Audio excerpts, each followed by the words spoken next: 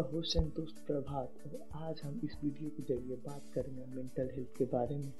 Human body के बहुत सारे वर्किंग सिस्टम्स जो ऑल डिपेंड्स करते हैं हमारे ब्रेन पे।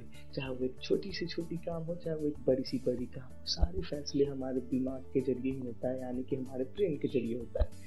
कभी कभी हमारी जो ब्रेन की वर्किंग कैपेसिटी है, वो पूरी तरह से इफ़ेक्टिव होती है हमारे डेली लाइफ रूटीन में गड़बड़ी के कारण या फिर हमारे इन्वायरमेंटल फैक्टर के कारण। बहुत सारे रीजन हो सकते हैं। मैं रीजन पे नहीं बात करूँगा, मैं आज सीधे पॉइंट टू पॉइंट बात करूँगा। और इस प्रॉब्लम्स के कारण हमारे जो वर्किंग कैपेसिटी है, इसके साथ हमारे जो बिहेवियरल है और क्वालिटी ऑफ़ लाइफ है, ये पूरी तरह से इफ़ेक्ट होता है। तो इस वीडियो के ज़रिए हम आज बात करेंगे और ये आपको समाधान बताएँगे, उपाय बताएँगे कि कैसे मेंटल हेल्थ से जुड़ी प्रॉब्लम से हम दूर रह सकते हैं। तो फ्रेंड हम अब बात करेंगे कि मेंटल हेल्थ प्रॉब्लम होता क्या है। मेंटल हेल्थ प्रॉब्लम एक नॉर्मल डिज़ीज़ जैसा ही है। इसी लोग कोई और चीज़ सोचने लगते हैं और साइकेट्री के पास जाने से डरते हैं और बहुत सारी प्रॉब्लम होती है। हमारे समाज में सोसाइटी में मेंटल हेल्थ से related but mental health problem एक नॉर्मली बीमारी है, जो किसी भी ह्यूमन के फीलिंग्स मूड बिहेवियरल इन सब एक्टिविटी में वो चेंज ला देता है। Like depression anxiety bipolar stress ये सब मेंटल हेल्थ प्रॉब्लम्स है। ऐसे स्थिति अगर ह्यूमन के बॉडी पे लगातार कुछ समय तक रहता है, बना रहता है तो इससे हमारी डेली लाइफ जो है निगेटिवली इफ़ेक्ट होती है। इसे हम मेंटल हेल्थ प्रॉब्लम के अंदर रखते हैं। तो अब हम बात करेंगे कि मेंटल हेल्थ हमारे बॉडी को कैसे इफ़ेक्ट करती है। मेंटल हेल्थ हमारे बॉडी को और ब्रेन को और हमारे पूरे बॉडी सिस्टम्स को या तो पॉजिटिव वे में इफ़ेक्ट करती है या तो निगेटिव वे में इफ़ेक्ट करती है। अगर हम पूरी तरह से मेंटली फिट है तो ये हमारे बॉडी को बहुत ही पॉजिटिव वे में इफ़ेक्ट करती है। और अगर हम पूरी तरह से मेंटली फिट नहीं है तो ये हमारे बॉडी पे निगेटिव रूप में इफ़ेक्ट करती है।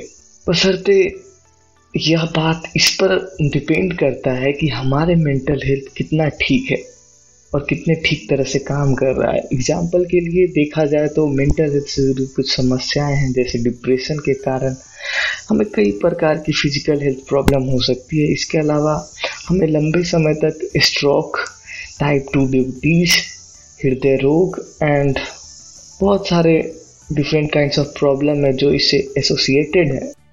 फ्रेंड्स अब हम बात करेंगे कि मेंटल हेल्थ पर क्यों निगेटिव इम्पैक्ट पड़ता है इफ़ेक्ट पड़ता है। तो मेंटल हेल्थ पे निगेटिव इम्पैक्ट पड़ने के कई कारण हो सकते हैं। जैसे बचपन से ये चीज़ें शुरू होती है और लाइफ के डिफरेंट स्टेज तक। आप इसके चपेट में आ सकते हो। Like trauma child abuse sexual assault witnessing violence के कारण मेंटल हेल्थ से जुड़ी समस्या हो सकती है। इसके अलावा कुछ बीमारियाँ हैं, जैसे कैंसर डायबिटीज़ और ब्रेन के अंदर होने वाले different kinds of hormonal imbalance mental health को बहुत ही बुरी तरह से प्रभावित करता है। तो फ्रेंड्स अब हम बात करेंगे कि हम मेंटल हेल्थ के प्रॉब्लम से दूर रहने के लिए क्या क्या कर सकते हैं, बचे रहने के लिए क्या क्या कर सकते हैं। सबसे पहले दोस्तों, हमें ओवर थिंकिंग करना बंद ही करना पड़ेगा। ये सडनली नहीं होगा बट धीरे धीरे आप ये प्रैक्टिस कर सकते हो। किसी भी चीज़ के बारे में ओवर थिंकिंग करना ये बिल्कुल भी सही नहीं है और ये चीज़ हमारे ब्रेन को बहुत ही पूरी तरह से इफ़ेक्ट करती है।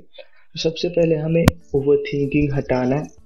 हमें अपना डेली लाइफ शेड्यूल सेट करना है, जिसके अकॉर्डिंग हम वर्क करेंगे और हमें जितना ज़्यादा हो सके, उतने अपने दोस्तों के बीच फैमिली मेंबर के बीच पॉजिटिविटी बातें करनी है। उसके अलावा आप डेली एक्सरसाइज कर सकते हो। डेली एक्सरसाइज भी ब्रेन को ब्रेन के अंदर नंबर्स ऑफ़ न्यूरॉन्स बढ़ाने के लिए बहुत ही ज़रूरी होते हैं। उसके अलावा आप मेडिटेशन कर सकते हो योगा कर सकते हो।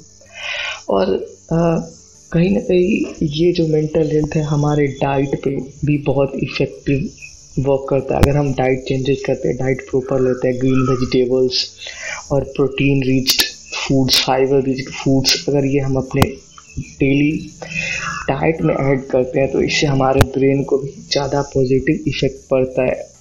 तो दोस्तों, ये सब चीज़ें कर सकते हो आप मेंटल हेल्थ को सही करने के लिए और आगे की जानकारियाँ हम अगले वीडियो में देंगे। मिलते हैं दोस्तों लाइक करें सब्सक्राइब करें। धन्यवाद।